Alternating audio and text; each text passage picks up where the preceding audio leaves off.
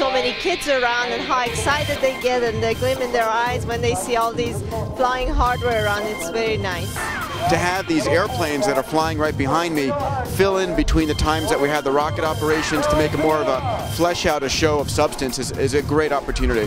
X Prize Cup is so exciting. This is representative of the future of flight.